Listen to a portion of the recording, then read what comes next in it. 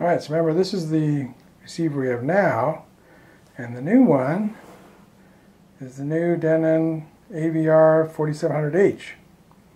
So why did I pick that receiver? Well again, we talked about future proofing. This is the first Denon receiver that has a true 8K uh, HDMI 2.1 port on the back, so I'll be using that to connect uh, TV to the receiver. And uh, so again, this is future proofing. So it's got multiple HDMI 2.1 ports on the back. And in my case, everything's going to be going directly to the TV. In other words, the TV is going to be the hub of the system instead of the receiver. Although in the short term, I'm going to have to, I'm going to be running my Blu-ray player through the new receiver to get better sound. What I've had to do now is the um, my existing receiver, when I ran the Blu my existing Blu-ray player, the Samsung in through that, uh, the picture quality on the TV wasn't that great. When I ran the Blu-ray player directly into the TV, picture quality was much better because the upscaling of the TV worked a lot better going directly from the uh, Blu-ray player uh, to the TV instead of through the old uh, receiver. So with the new receiver, I'm expecting to be able to pass through that signal without any processing by this receiver and I can have, again, have the TV uh, do all the uh, video processing. But in this case, the sound will be coming out of the receiver because it'll split that off as it goes through. Right now, I've got the receiver hooked up to the TV using the optical output. Because this, this receiver is so old, it doesn't have, even have regular arc, let alone e-arc. so to get consistent sound working, I had to uh, run an optical out of the back of the TV into here. So all I'm getting for sound is, is pure direct, which is just, you know, seven channel stereo. So I'm not getting any surround sound right now. So with the new receiver, which is coming a week from today, I'll be able to get full surround sound, Atmos, and uh, the, the, compressed Atmos out of uh, any DVDs I have over here, compressed sound. Uh, and then when I get the new uh, uh, Xbox Series X, which has a 4K uh, Blu-ray disc in it that has full uncompressed Atmos sound coming out of it, I'll, I'll be able to have full uh, uh, Atmos sound, which will be the best I can do for my current setup. So the Xbox Series X will go directly to the TV. I won't I won't run that through the receiver. So that's the current plan. I just realized I can install my speakers now. I don't have to wait till the receiver shows up. So I'll work on that. And once I have those installed, I'll show you, I'll give you another video update on uh, the speaker installation. And then when the receiver shows up, I can do a full uh, walkthrough of the whole system. So that'll be great in about a week. All right, so it's got this uh, ball and a one quarter by I think it's 20 thread on it. So you put the ball in here, screw it into this uh, base, this bracket.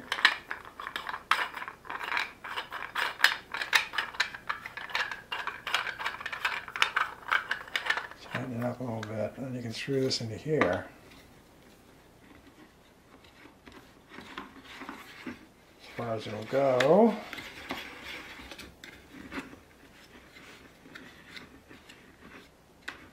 Guess that's it. and then this is super strong, so it can hold the speaker at any angle you want. Just tighten this up. So that'll work for our surround backs. And I'll show you how the bracket fits on the wall. So this bracket just comes off like this. You mount this on the wall with uh, four screws, then you can just slide this in. That, and then there's a, a, capture screw on the top here you can put in to keep it from slipping out.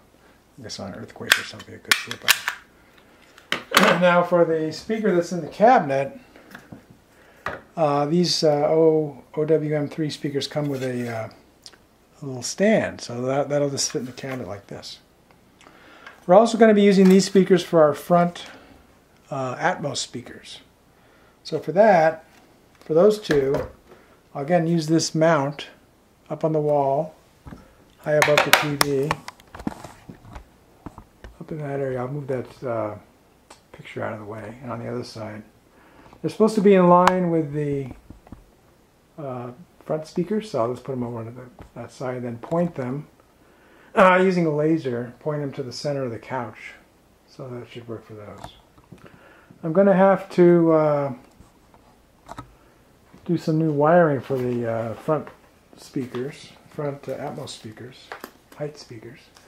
So I'm going to use this uh, 16 gauge media bridge uh, speaker wire. It's white again, so it won't show. So I'll put banana plugs for the side that goes into the uh, receiver, and then I'll put uh, pins on the side that goes into the speakers themselves.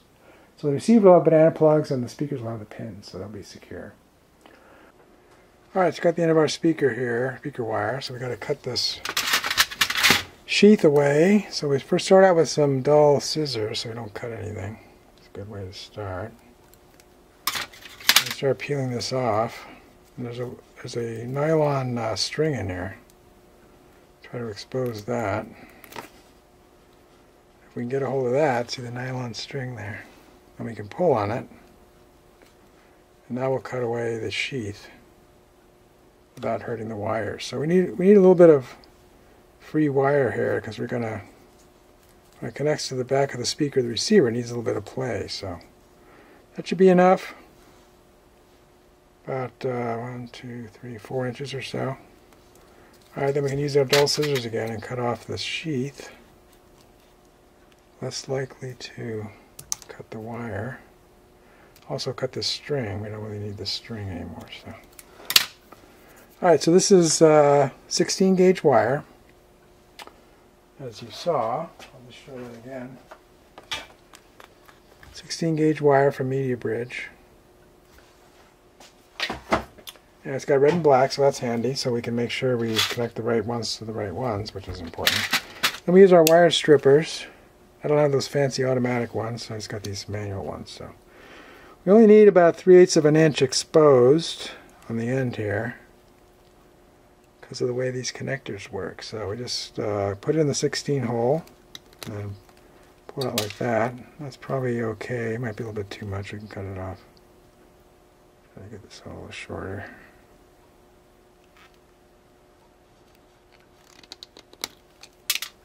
Yeah, so that's about all you need. So I'll cut this other one off a little bit. Using lineman's pliers here.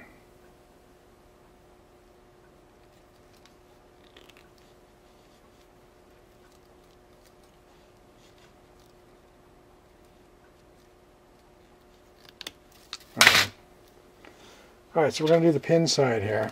So these are the pins that go into the uh, speakers. And these are the banana plugs that go into the back of the receiver. So, so going to make sure we line up the colors, obviously. So we got red and red. So unscrew the bottom of this. And then you push this wire up to the bottom. You make a little mushroom. Bend over the top of this You Gotta make sure you don't go onto the the uh, don't go onto the uh, threads there, otherwise it'll uh, won't work. Here's the top of our pin. So we've got the wire there. Screw this on. Screw it down tight. Alright, then we pull out a little bit to make sure it doesn't come out. So, Same thing with the black one. Here's the black pin, so we unscrew the bottom of that. Up to the bottom. Make a little mushroom. Spread the wires out in all the directions as possible.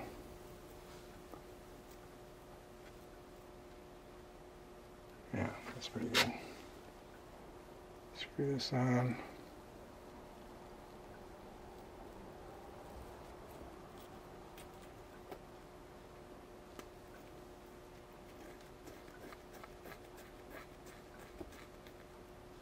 Tight, give a little tug. Okay. Now, we need to put our shrink tubing on. So I just realized I should have put this on first. So we're gonna this this is the um, this is the shrink tubing that will fit over the connector, but this is too big. This is too big for uh, it won't shrink down enough to cover this. We want some strain relief on the end of these wires so they don't they don't get loose. So so I was going to put a couple layers of shrink tubing over the wires down in here. So that way there's less, uh, this this will shrink, up. this bigger one will shrink onto those. So I need to take these off and install these other pieces first and then I can put these back on. So I'll just, I'll just do that off camera and show you when I get done with it. Alright, so I got this ready to go now. So I take the smallest diameter shrink tubing, put that over first. I cut that a little bit longer than the other one. And then here's the medium-sized one. This will go over here.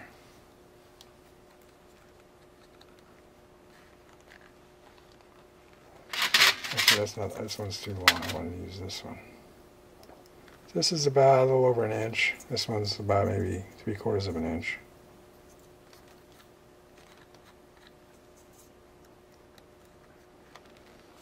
And then uh, once the uh, connector's back on, I'll put this over it. So the black side's all ready to go. So we're going to shrink these first. So you can see the smallest one's a little bit longer. And it'll uh, shrink better. So we're going to shrink this one. Then we'll take this bigger piece and shrink it on top of this. So it's kind of a three-step process. Alright, so these two should shrink together just fine. I'll just do it this way. So here's our heat gun. It's just a paint stripper put it on low. I'm wearing gloves so my hands don't get too hot.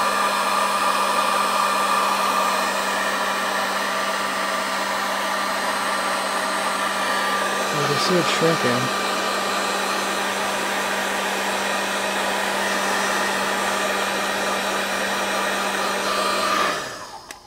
That's about it. That's all we need, I think. Alright, so we've shrunk. So now this is a lot fatter. So when we put this over it, this will be able to shrink and squeeze onto this. So let's do that now. Make sure this is tight. Yeah, okay. So we're covering up this black plastic here, but we're using black shrink tubing, so we know this is the black wire. So there's no problem identifying it. Alright, we'll shrink this.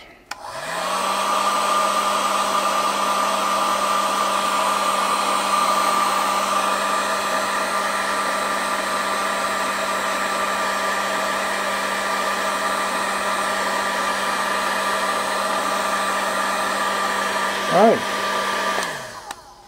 I would say that's a good one. So now you can see we have some strain relief.